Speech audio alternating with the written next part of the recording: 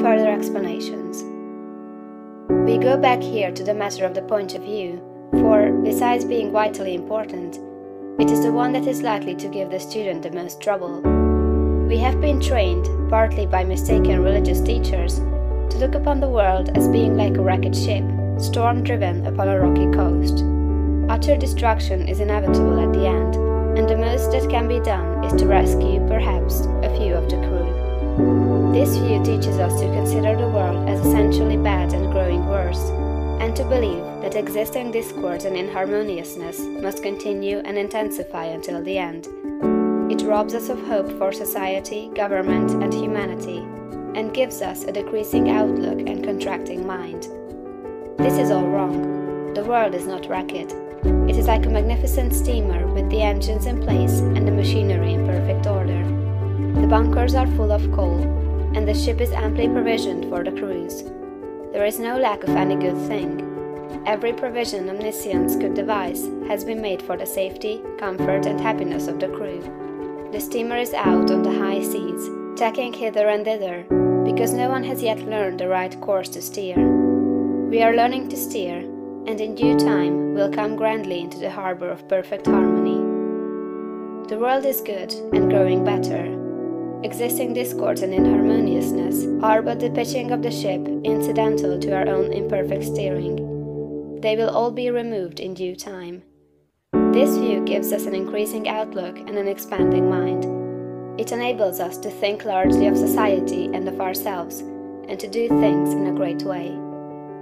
Furthermore, we see that nothing can be wrong with such a world or with any part of it, including our own affairs.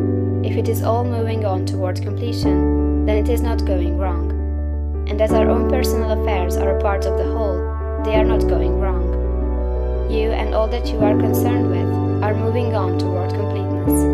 Nothing can check this forward movement but yourself, and you can only check it by assuming a mental attitude that is at cross purposes with the mind of God. You have nothing to keep right but yourself. If you keep yourself right, nothing can possibly go wrong with you, and you can have nothing to fear.